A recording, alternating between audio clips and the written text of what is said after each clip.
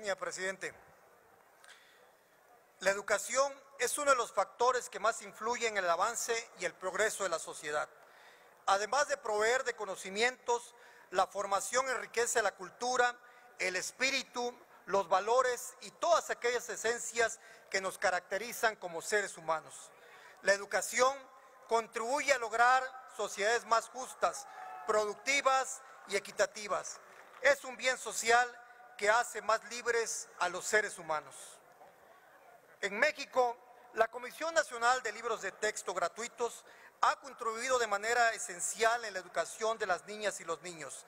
Desde su creación en 1959, la Comisión produce y distribuye de manera gratuita los libros de texto que requieren los estudiantes de educación básica de nuestro país.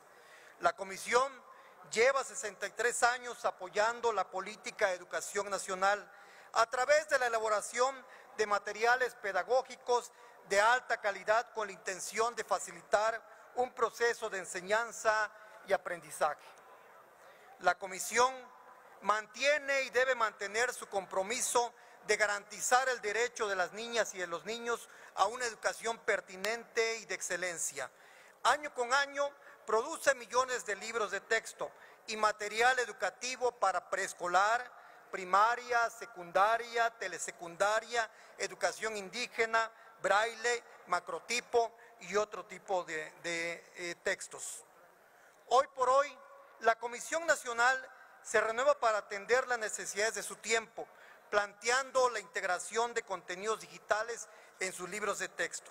Sustituye el uso de anual por aquellos de uso multianual, con lo que se busca la conservación de recursos naturales. Hoy como grupo parlamentario del PRI reconocemos el compromiso desde su creación de la Comisión Nacional de Libros de Texto Gratuitos, así como sus aportes a la educación nacional. Estamos seguros de que es necesario que se fortalezcan y actualicen los planes y programas de estudio con un perfil netamente académico por encima de lo ideológico.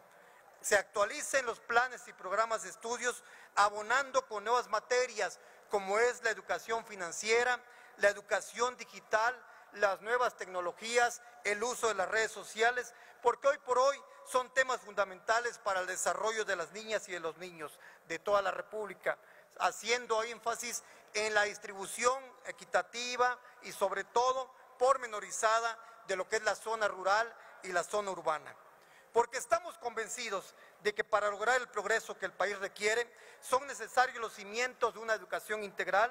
La educación es la única herramienta legítima para acceder a los mejores niveles de vida, para elevar, para elevar las condiciones culturales de la población y para el avance democrático y el fortalecimiento del Estado de Derecho.